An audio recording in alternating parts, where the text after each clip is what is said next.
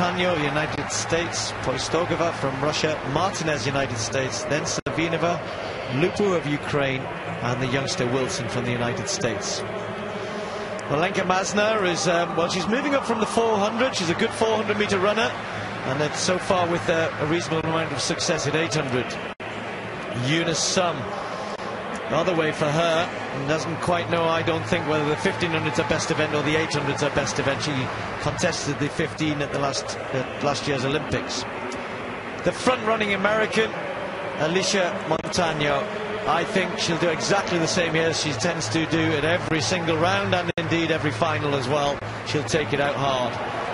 Ekaterina Poistogova, the Olympic bronze medalist in this event, fast finisher. Won't see her too near the front, but as others fade, she'll be coming strong.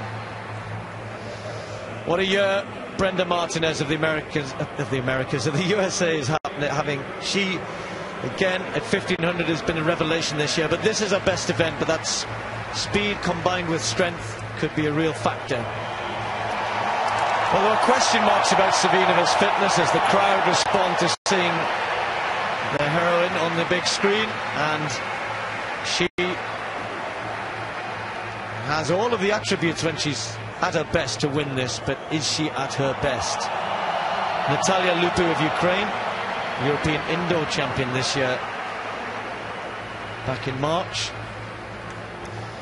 And what a talent this youngster is. She beats our own Jess Judd in the World Junior Championships last year in Barcelona to take the gold medal there. And she's made the final this time. 19-year-old Ajee Wilson from the United States.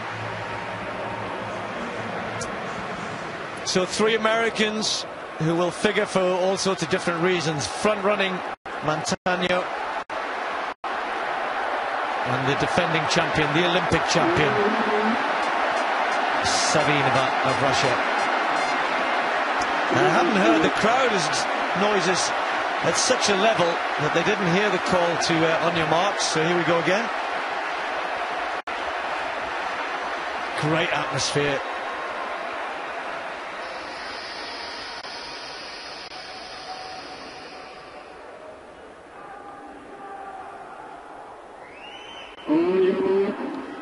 So the women's 800 final. Well,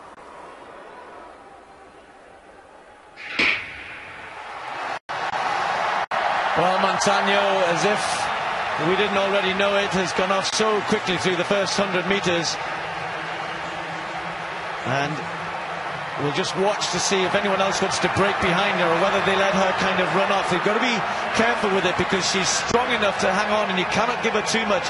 You sort of want to see whether or not she goes too hard. But if she judges it right and they give her a, too much of a gap, 26.8, that's a bit quick through the first 200 metres. And there's only Eunice Sum thinking of going out with her, but she's not sure herself.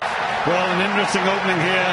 We expected these tactics to unfold. And now it's all about how she can judge the pace, whether the rest of them running as a group, and whether Savinova, the Olympic champion, is anywhere near back to her very best. She's taking her time, she's running steadily in the straight. The young American behind her, Wilson, is running powerfully too. But there's the bell, 56.06. That is quick in the way she's done it. She's beginning to slow already. And now, can she hang on? Can she keep this pace? You can run 800 metres from the front. You can run it really well from the front, but you've got to judge it right. Now, is the race coming from behind? You can sense it building there. Has she gone too hard too soon?